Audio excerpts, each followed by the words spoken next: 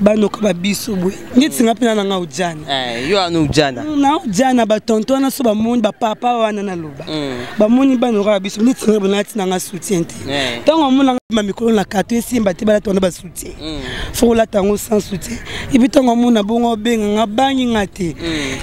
imagineobanga na ope ye obange te ye bangi nga te bonga na banga ata azangi marie etenonga te eh. na flave congo kala la jamuskete ela toujours pour vous dans osalela bino kaka mosala flave congo eza tokiti tosola na bandi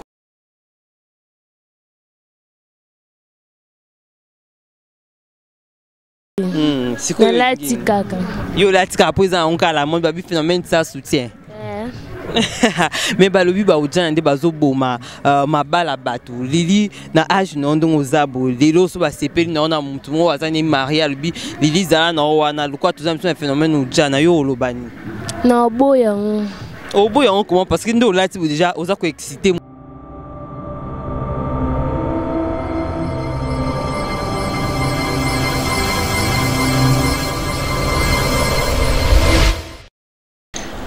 Merci. Euh, je sais que vous êtes branché sur euh, Carmel Media TV. Nous, nous sommes là pour le compte euh, de notre émission, Déjà au micro, c'est votre euh, euh, présentatrice mille fois, la Jamsky de la presse congolaise, autrement appelée la maman de Ben Miradignala, soit appelée moi aussi, Tir Sabawaïda, Isaka Abakumbunanga. Je suis avec Junior Loata, Junior Loata, au vraiment. Euh, cameraman na biso ya Carmel Media TV accompagné nga tokiti vraiment awa na Kintuka pêcheur bomona Flave Congo donc euh, mpona bana poto nyonso bamona Flave Congo kala la jamuskete ela toujours pour vous dans osalela bino kaka mosala Flave Congo eza tokiti tosola na bandeko na biso ya basi toluka bango vraiment tobeta bango masolo concernant toujours phénomène oyo tobenga ujana ujana eza euh, phénomène moko ezo régner ces derniers temps na Congo awa donc ezui vraiment ampleur bana biso ya basi ya mikie déjà à partir ya 13 ans euh, ti 18 ans 17 18 ans baobenga bango baujana pourquoi baobenga bango baujana biso oyebaki ujana ntango ebimaki ezalaki équipe moko ya football oyo eyaki comme école de foot baolakisa bato euh, baolakisa bana ya mikie football ti lelo mpe Euh, centre yango ezali soit école yango ezali bango nde bazalaki kobenga baujana mais subitement échange yango junior loata échange yango elongo yango bana wana bafootballeur na biso ya mikie soit bajunior nabenga bango bongo ekomi nango na ba fille na biso ya Kinshasa bazolata sans soutien baolata ba robe ba single ka bongo mabele nyonso moni etelemi on ne sait pas pourquoi bakomi kobenga bango baujana mais non biso lokola tolingaka bino mingi tokiti vraiment awa na kinchuka pêcheur toyosula na bandeko na biso ya basi ya kote oyo secteur oyo nyonso tosola na bango tobeta na bango masolo concernant yango là je tiens directement à saluer mon boss ye nabengaka ye moto azanga dauphin l'irremplaçable monsieur gautier masasu de big salutation place ozali olanda nga mais kasonga papa le phare merci à toi euh, balobi moto ezosala kaka presse écrite nde evandi wana merci vraiment junior lowata to zwa temps ya kosolana bandeko na biso euh, oyo tokutani na bango mai mingimingi na kosepela tozwa kaka baujana wana donc banoka ya mike bakobenga baujana ndenge wana kosepela vraiment tozwa bango tobeta na bango masolo on peut aller junior mai kitoko voilà euh, nayebisaki bino ke lelo tolobela phénomène ujana naza a mpe na maebo ye aza art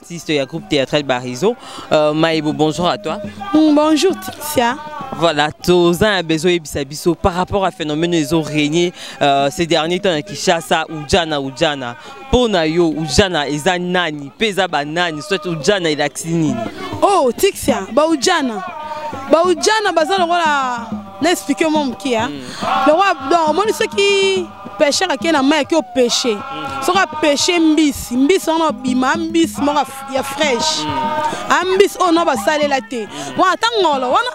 apatapata ti so obomi ye osaleli ye olie nini mbisa fresh eyoka baujana baujana baa bana moko boye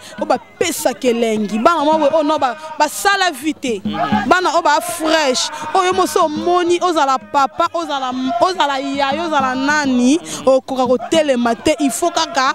olanda kaka mais si je comprends bien baudja na baza bafille vierge oui vierge bana ono basali vi te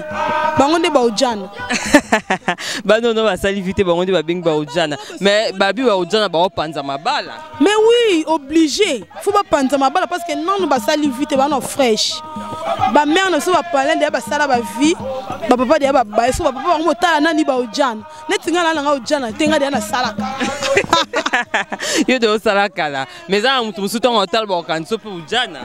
non wana soki fo nalata soutien te mm. so nalati soutien te natiki kaka bona comme mujana oh. oui baujana baosala mpe phénomène sans soutien donc comme nango olati no soutien te oza no ujana eh, sans soutien mm. sans soutien bango nde baujana merci en tout cas princesse maebo nasepeli ndongo mpe susu baéclaircissement tokende mpe tosola bandeko mosusu baexplike biso baujana lokola jimi sekele mwana poto mhm. robino mundibu bango nde baza wana bapesa baconseil boti kolanda baujana prison eza wana eh, robino mundibu aboya yango alobi bana wana prison eza wana faut pas oza mokolo omoni mwa mwana mwa moke olandi mais age ya baujana yango ebanda age nini Eh, wana bana ba 13 ans, 12 ans, 14 ans, 15 ans suka. Merci princesse Maïb. Merci vraiment na bana poto nyoso tozo continue toujours euh, euh, interview na biso concernant phénomène Ujana, babi Ujana nde makambo, Ujana ekangi masolo euh, na kati ya RDC donc euh, naza na merveille naza na lili lili ye yo merveille ye yo donc bango nde baudja na mikolo babi bana nyonso mike à partir déjà ya 13 ans 14 à 15 ans 16 ans babi ti okokisa 18 ans bango wana nde baudjana donc euh, na banda ya lili lili bonjour Bonjour. Lilio za âge nini? Na na 17 ans. Lilio za na 17 ans. Euh Lilio ebi phénomène Ujana. Hein? Phénomène Ujana na yebi. Ujana eza ni loba mo makasi esala plaisir.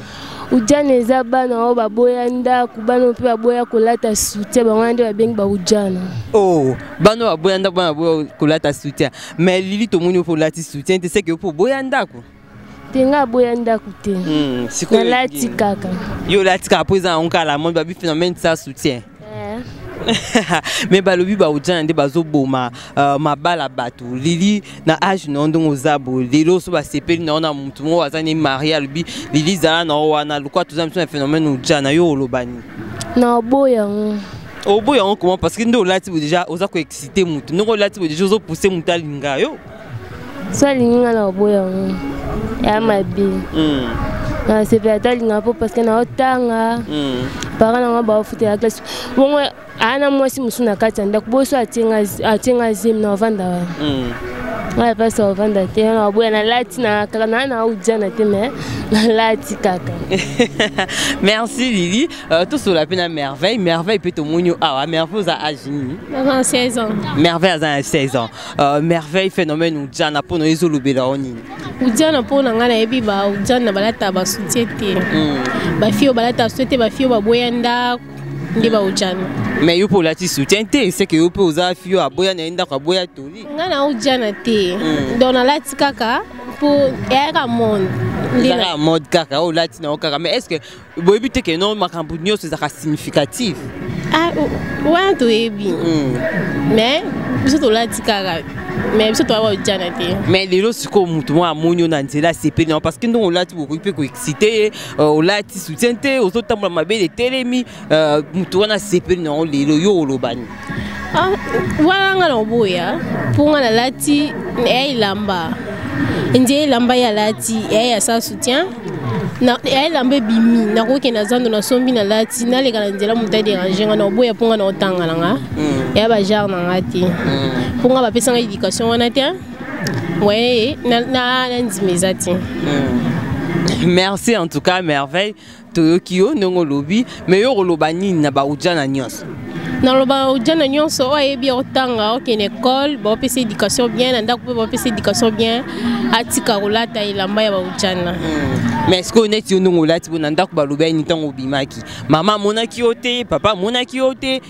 ntango obimaki balobaki nini to olongoli ya soutien nde na nzela ngai nalataki mama azalaki te mpo mama aza voyage natikali na papa papa mpe akende ya mosala nde nalataki hmm, siko ntango ozonga so papa dasi azongi na ndako osani ogangela nga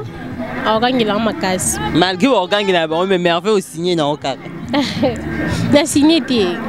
sikoyo osala ndeni otamboli na soutien ya saki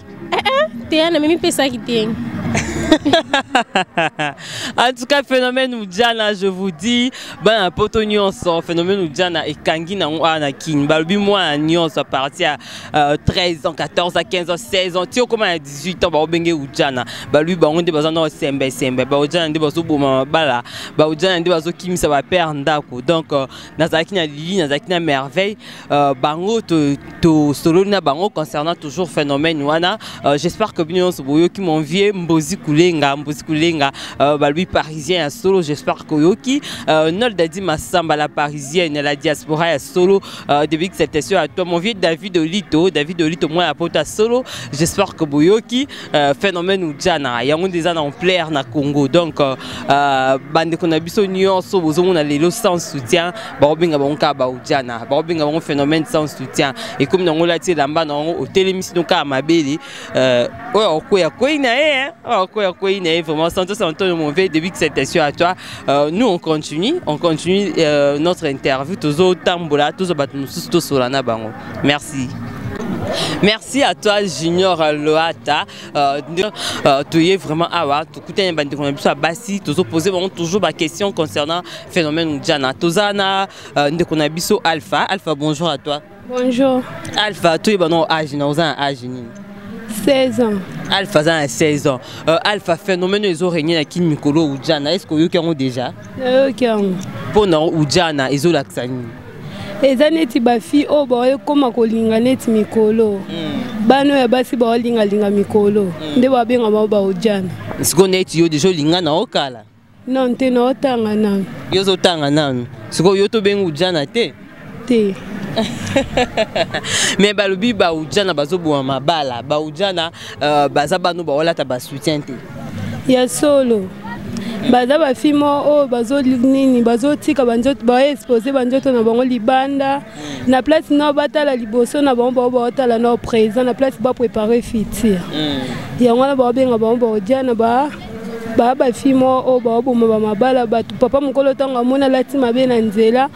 aluka telemisa ye atia ye lisolo hmm. nde yango wana nde yango wana baobenga bango baodiana ah. merci en tout cas alpha ndenge opesi biso baexplication par rapport à phénomène yango euh, mais balobi euh, sans soutien mpe ezo renie nango otamboli no olati nango soutien te yo mpe okotambola no malgré oza no ojana te olati no mpe soutien te neti eza bafilme mosusu bazanga balingaka na bango neti soutien te neti nga nalingaka nanga soutien te yango nakoki nango otambola bongo sikoyo olingaka soutien te mpo ani parce que babi soutien eprotegaka mabele ndenge nalati boye ezoprotege libele parce que naa na tolo te moye mpe nalata soutien eza te oh mais numero nde ekozala mpe ba 32 mpe eza nango te mais eza nango me naokutana na chance nango te nalata yango so neti nalati uniforme bien naobima so naa na ndako naolata yango te navandi nalati nanga kaka sengle ya pamba sansu afo afo aoyebisa biso euh, baujana baza banani banoka ba biso boye neti nga mpena nanga ujana eh, yo ana ujana mm, na ujana batonto wana so bamoni bapapa wana naloba mm. bamoni banoka ba biso neti nga bonalati nanga soutien te eh. ntango amonanga bongo azo se sentir mal à l'aise sikoyo olati soutien te mpo ani na afo te parce que na mabele etelema hmm. eh, fo nalata soutien te mpo biso ba mikolo esenga babilamba ebima mikolo na kato esimba te balata wana basoutien hmm. fo kolata yango sans soutien epuis ntango amona bongo obenga nga bangi nga te hmm. imagine ke obanga te ye bangi nga te bonga na banga eza ata azangi marie etali na nga te eh, afodo yo signaka no makambo sikoso mwasi ya palaiye ngai bonga na bange pani ye banga teki aza mwa mokie mm. amoni nga ni alati boye i eh, libele etelema seki ya mokolo mm. okenda nanga mwa mokie nga mpe na obango te sikoyo wana mwa mokie wana age na nanga 19 ans 19 ans mais babi baujane eza euh, de 13 ans 18 ans ekipe te ekipe nango eh. sozanoka loka nga boye olingi ozala kwanga donc oza nopeka ujana merci afo en tout cas oza nango claire hein? donc euh, afo mpe ndenge aza nazani ujana babi ezokipe nango te donc euh, batonton na bango mo nde bazolanda mpo yango libele etelemi seke bino mpe bokolata yango na nko mpo kaka bopengwisa batonton ya bato te tolati yango na nko te ngai ndeti ngai alati nange elamba hmm. donc ye moko nde azomona sope ndeni bon mais babi sans soutien bo balata yango kaka na ndako eske balata yango place bato baza jamais balataka mpe bona etinga nalati oyo place bato baza te kasi feye mingi nde na ndako te babilamba mosusu tolata bena suti esimba te tolatango sans soutien merci ya fo merci vraiment euh, tozwa mpe bandeko na biso mpe baza awa euh, nabanda na nani nabanda na nani lorette yaka nabanda nanga na yo bonjour lorette bonjour lorette euh,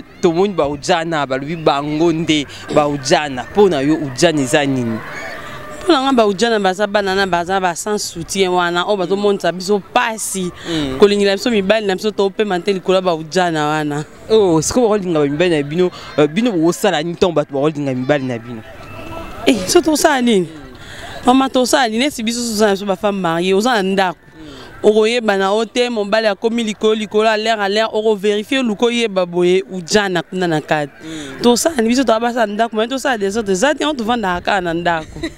mais lorete yo mpe yamona ndako kolatela papa sans soutien te bango balingaka bano ya miki wana etelemi e eh, ngai na barsa so alati sa soutien ye moko kuta osepela te donc ye alingi nde kaka ujana ah, donc ujana baza bana mike bax eza ekipa ba mikolo cour des eh. grands mm, bax eza biso ti mm. bamaman deya si tobotiboti baujana no baboti te mm. baza ba sans soutien donc biso moye olongola elamba otikala sans soutien otambola bongo eza te merci en tout cas lorette nasepeli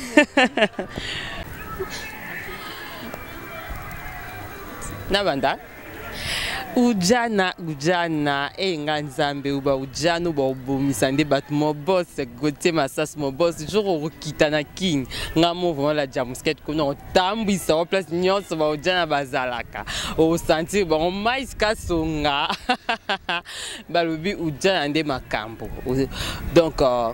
tosali reportage boyoki bango na femme maria lobi donc euh, bango baza na bango babakisa baujana nde eza bafiyo bazotelemisa mabele bango babakisa esi babota na bango ovanda na pale oyebi na yo te père père oyo oh, azodonda na ye libanda na ujana donc euh,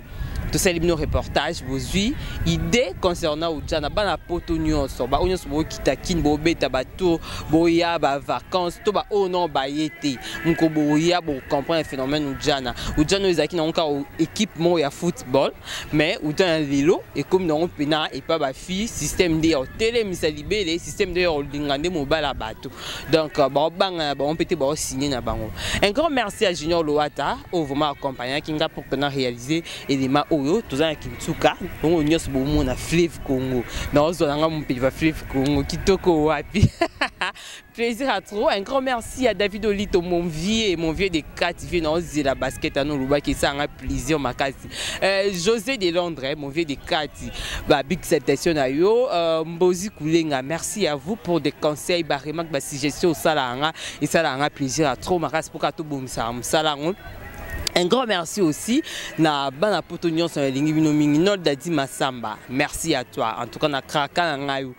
Nalinga koma kasi la parisienne ya solo no dadi masamba. Eh, un grand merci aussi na batu nyonso bolinga la jamusket hein. Bobetelinga ka na Facebook tire sabawayi la bozwa nga moto solola et ça plaisir à trop mon, mon boss euh, mutazanga dauphin muto azanga vraiment moto akoremplace l'irremplaçable patron ya carmel media tv de big citation à vous monsieur gautier masasu nalingako mingi vraiment talaka opportunité opesa nga talaka bavaleur opesa nga talaka euh, amour oyo olakisa nga esalaka nga plaisir ya trop makasi je vous retrouve déjà prochainement avec un nouveau numéro bye bye